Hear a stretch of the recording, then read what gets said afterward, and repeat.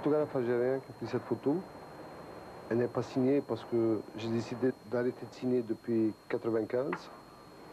C'est une décision que j'avais prise par mesure de sécurité, vu la tension qui a pris l'ampleur en Algérie.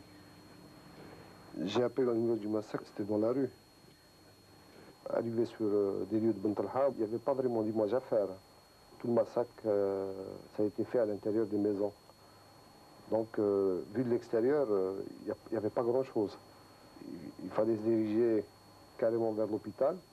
Et même à l'entrée de l'hôpital, il, il était quasiment interdit de faire des photos. Il y avait un mouvement de panique. J'étais un peu curieux de savoir ce qui se passait. Et, en même temps, je voyais de loin une femme qui était en train de, de, crier, en train de pleurer.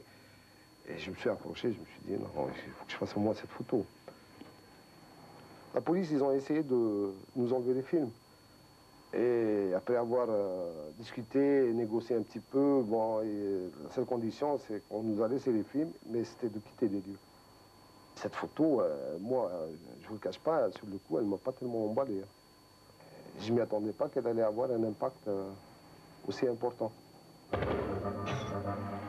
1972, após oito anos de guerra com a França, a Argélia alcança a independência. A Frente de Libertação Nacional instaura um regime socialista.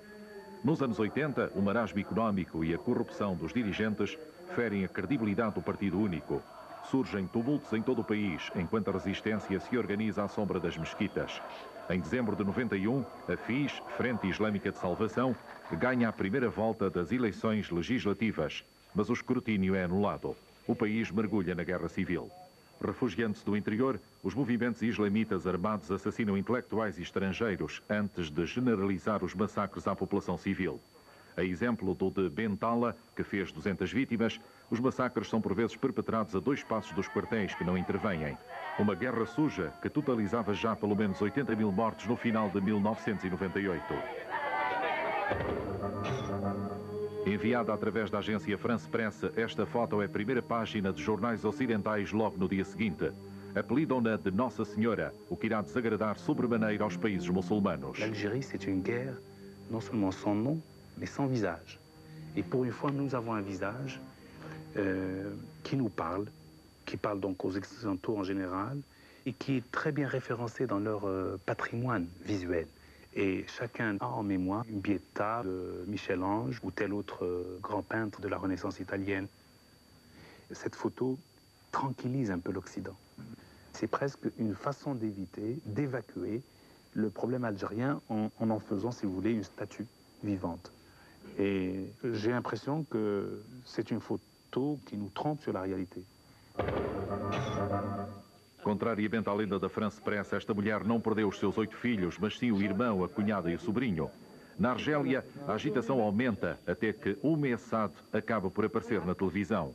Heroína contra a vontade, ela vive desde então sob alta vigilância.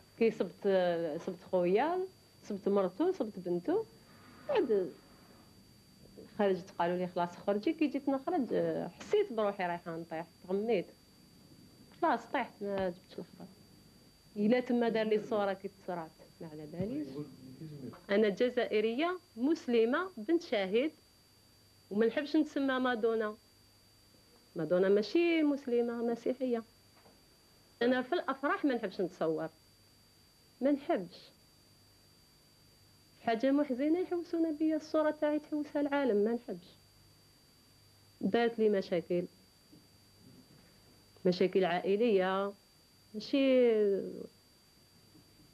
ماشي حاجة تفرح نحب الدولة الجزائرية تحبسها ما نحبش ما نحبش صورتي تبقى في البلدان تحوس نحب الصورة تاعي تبقى في الجزائر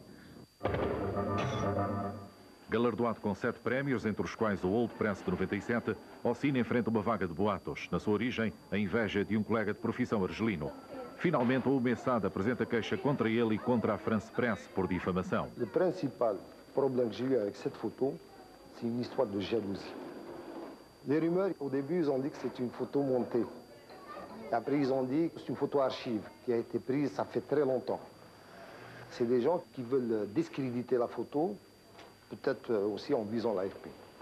Ça ne peut être que des gens qui sont manipulés, je ne sais pas par qui. Les gens qui sont contre cette photo, c'est des gens qui sont pour le terrorisme. tout simplement. Moi, c'est comme ça que je le vois. Comme par hasard, neuf mois après, cette femme trouve un avocat, elle dépose plainte pour diffamation. Si c'était à refaire, je le referais. Moi, les cadavres et les corps calcinés, ça ne m'intéresse pas de les faire. Je préfère avoir affaire à un vivant que d'avoir affaire à un mort. Moi, j'ai choisi de rester en Algérie. Tout d'abord, je suis chez moi, hein, et c'est mon pays.